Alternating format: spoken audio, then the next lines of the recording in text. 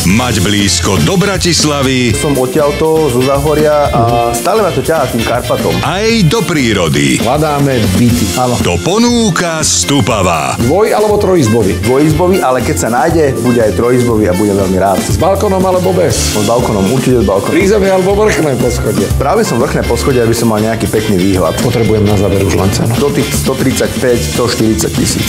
Nové bývanie. V nedeľu o 17.50 na Jojke.